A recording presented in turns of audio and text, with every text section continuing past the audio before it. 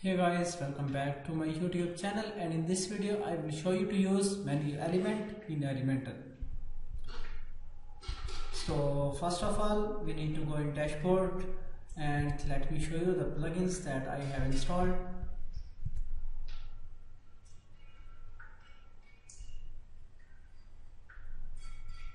So here you can see I have installed Elementor Pro, ElementsKit Pro and after that Essential Add-ons. So next go to ElementsKit header footer. And after that here you can add any of the section like header footer and many more. So just click next so that it starts ElementsKit. And after that go to header footer builder. So next just click on add new and here you can give name like my header.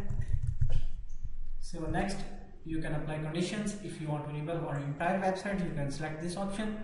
And if you want to display on specific page you can select singular. And if you want to display on archive pages like category pages you can select here after that. Simply click on activate if you want to activate it immediately. So after that click on edit with elementor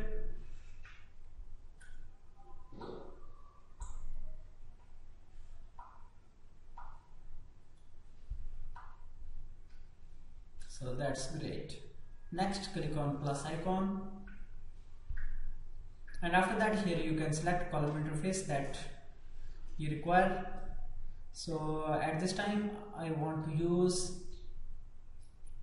so let me check. I want to use this one. And just click on logo.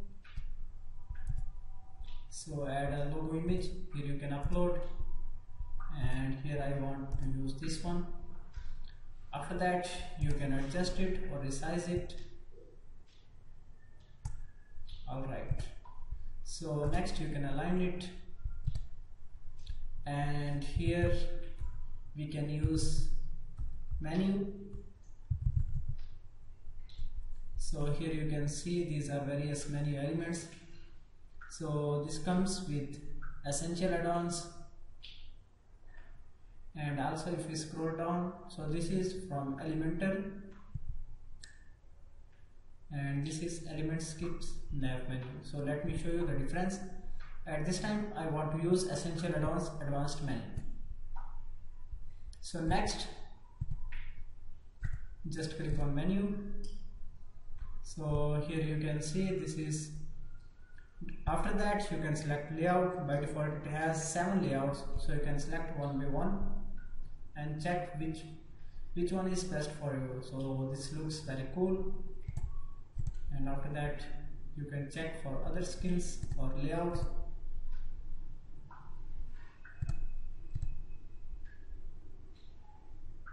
So this is also looking great. And after that you can check others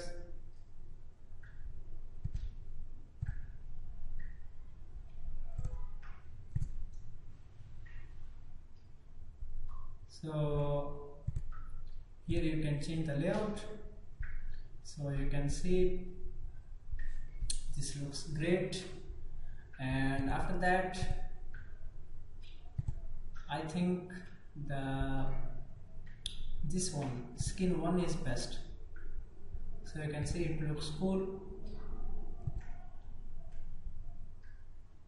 so here you can add a gap from top. So go to advanced tab and add a margin like 20 or 10 pixel. So you can align accordingly. After that I have only two items in menu. So you can add more and more items. So just go to appearance menu tab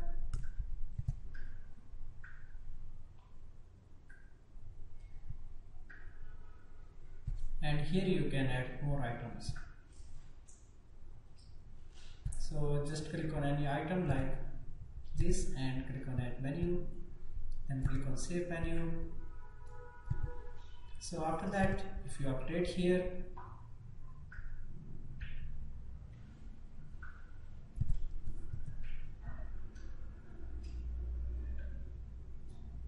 so you can see this is showing here. That's great and after that you can change here menu hover color or background color. So here you can add a background color that you want.